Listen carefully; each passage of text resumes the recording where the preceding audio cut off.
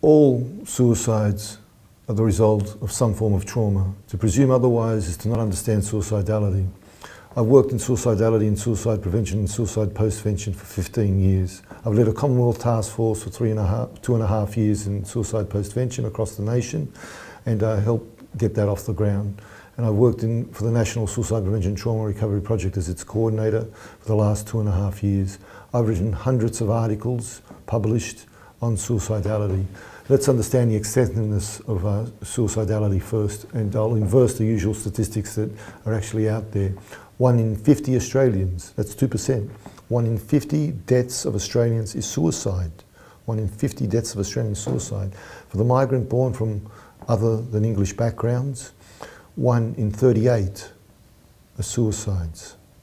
For the First Nations people, one in 17 deaths is a suicide, and it's gone up every year for the last decade.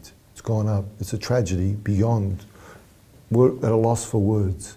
But one in 50 for all Australians, 2%. Think of all deaths, Australians, and 2%. That's an abomination. That's hideous reprehension, and we do very little about that other than posit frameworks, reports that are hollow, and uh, no, nothing has culminated or led from that.